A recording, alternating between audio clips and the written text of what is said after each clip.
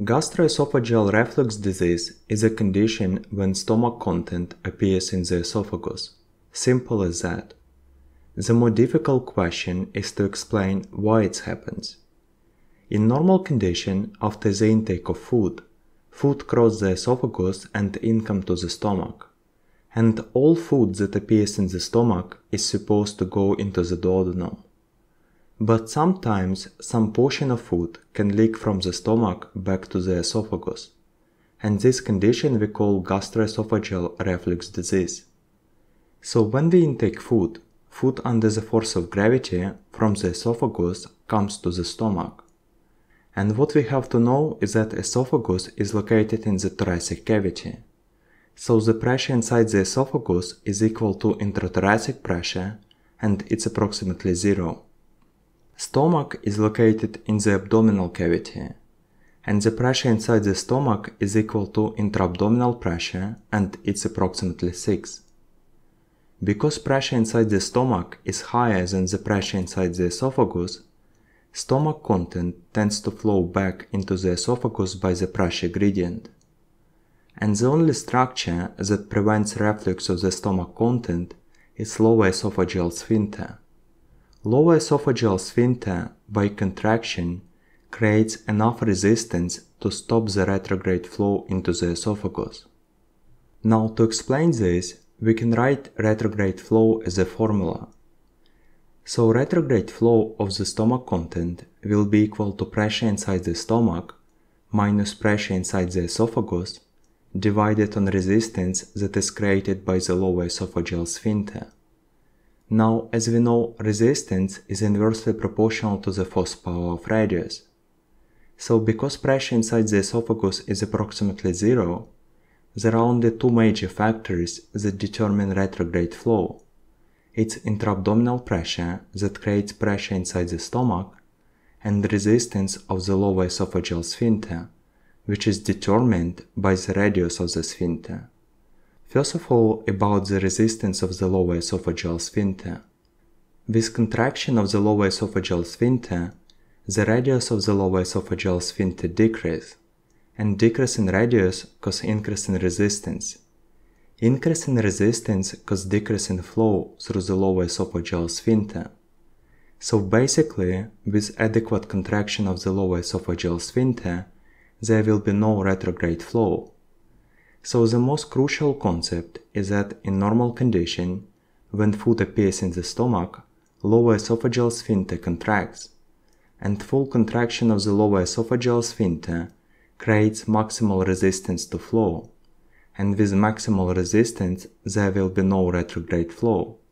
This is the major function of the lower esophageal sphincter, and it's the reason why in normal condition we do not have gastroesophageal reflux disease.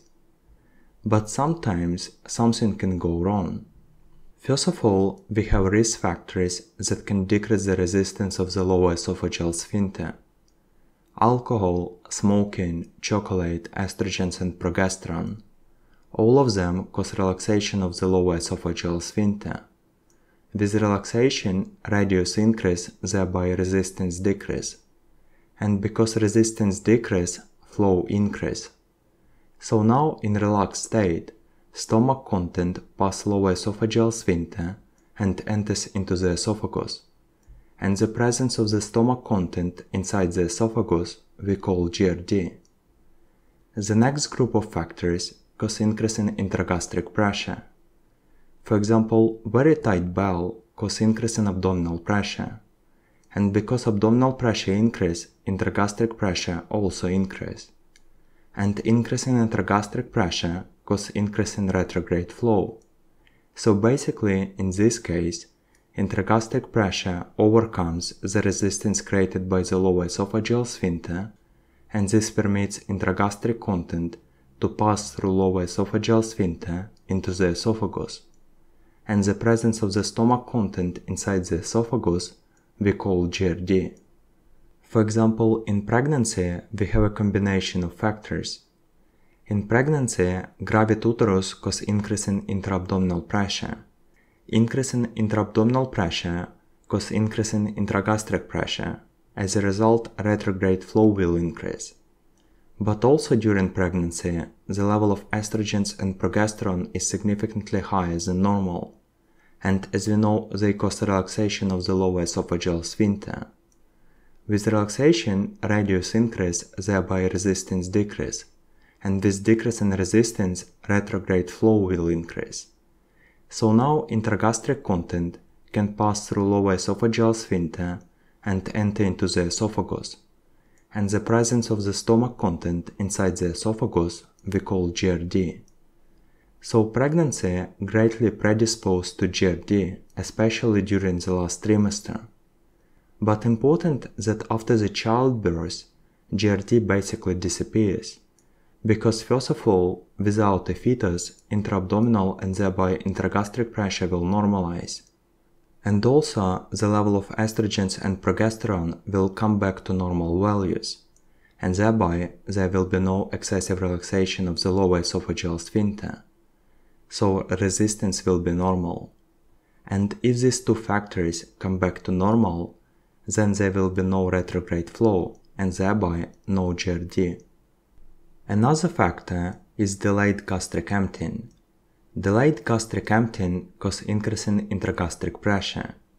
The concept here is that patients with poorly controlled diabetes mellitus, for example, have very high blood glucose level, and constantly increased glucose level leads to autonomic neuropathy that causes decrease in gastric motility.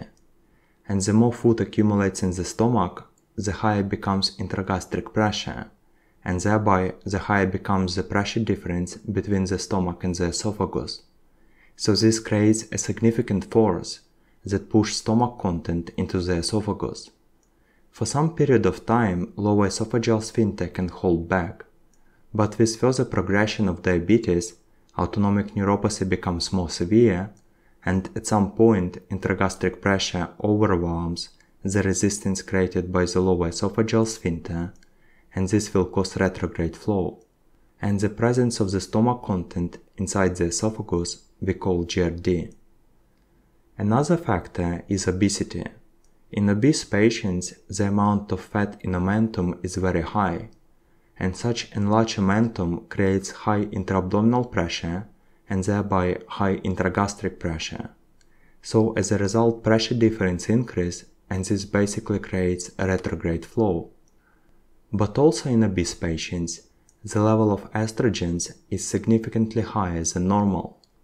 As we know, estrogens cause relaxation of the lower esophageal sphincter. With relaxation, radius increase, thereby resistance decrease. With decrease in resistance, retrograde flow increase.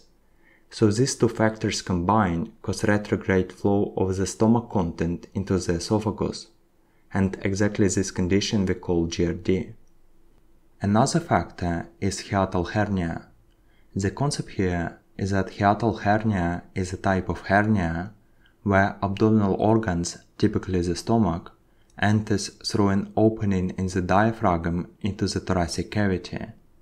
So in hiatal hernia, intragastric pressure mostly remains the same, but the function of the lower esophageal sphincter becomes completely disrupted and in such pathological state, lower esophageal sphincter cannot create resistance to stop retrograde flow. As a result, stomach content without any obstacle by pressure gradient comes into the esophagus, and such retrograde flow we call GERD. Also, we have several classes of medications that can trigger GERD. First of all, it's calcium channels blockers because with blockage of calcium channels, calcium influx into the smooth muscle cells will decrease. And because the force of contraction depends on the amount of calcium, this will cause decrease in force of contraction, or we can say this will cause relaxation of the lower esophageal sphincter. With relaxation, radius of the lower esophageal sphincter will increase, and with increase in radius, resistance decrease. With decrease in resistance, retrograde flow increase. So stomach content will enter into the esophagus and the presence of intragastric content inside the esophagus we call GERD. By the relaxation of the lower esophageal sphincter, GERD can be provoked by anticholinergic medications, by tricyclic antidepressants and also by benzodiazepines, they all decrease the resistance of the lower esophageal sphincter.